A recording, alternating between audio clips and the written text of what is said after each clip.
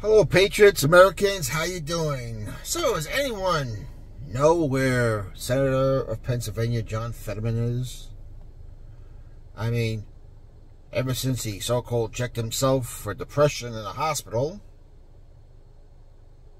no one has he seen or heard anything from him, but has managed to sponsor many bills in the Senate as his wife flees the United States to go to Canada, and I believe went back to Brazil after that. Now, you even wonder if this guy's even alive right now, the way the media has been super duper silent on this. And going by the re election rules, if a man dies in office, if they could somehow delay it to a certain time, they could avoid the special election, and the governor could then appoint who he wants temporarily.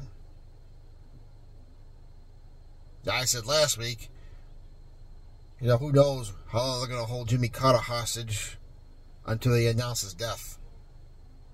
But I could easily see doing this to both of them to cloud the news cycle for a few weeks as things seem to be getting more and more intense. And not looking good for Democrats and a whole bunch of RINOs.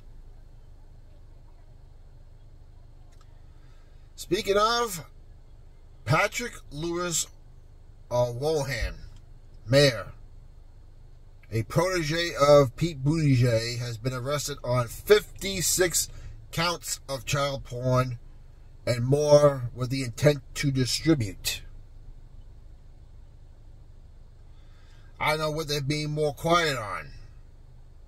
This story, Fetterman, Carter, East Palestine.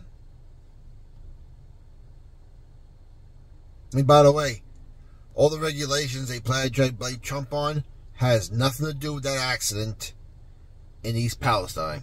I'll say it again. I said another video. I'll say it again, just in case people have a very short-term memory here. None of those regulations they blame Trump for have anything to do with what happened in that accident in East Palestine. Which is why probably Joe Biden's avoiding it, and so did Pete Buttigieg until Donald Trump went to visit people of East Palestine.